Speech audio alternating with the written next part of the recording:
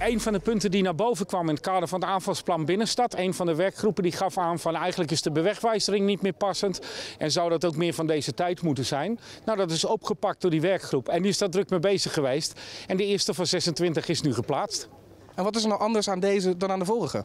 Nou, er wordt naar de goede plekken verwezen. Want er zijn natuurlijk nogal wat instellingen verhuisd de afgelopen vijf, zes jaar. Maar er wordt ook in minuten lopen aangegeven hoe, lang, hoe ver iets weg is. En dat is eigenlijk zoals we wegwijzering tegenwoordig op heel veel plekken doen.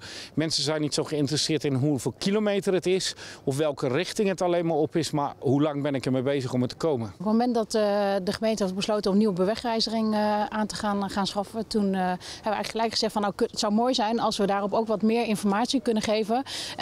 hoeveel minuten je eigenlijk op een dag ook loopt. En vooral van de stad, want het zijn vaak uh, toch kleine afstanden. Uh, soms denken mensen, nou, dat, het is toch iets te ver. En door minuten weet je eigenlijk exact uh, hoe lang je erover doet.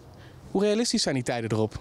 Uh, die zijn redelijk realistisch. Uh, we hebben een, uh, een landelijke meting gebruikt. En dan ga je natuurlijk niet vanuit dat iemand echt vijf kilometer wandelt in de bossen. Hè. Het is een wat lager tempo. En nou ja, het is redelijk realistisch. En welke plekken worden nu bewegwijzerd vanuit het centrum van Doetinchem? Nou, eigenlijk alle plekken waar je als bezoeker naartoe zou willen. Dus zowel de Gruitpoort, Amphion, maar de markt die op dinsdag en zaterdag is.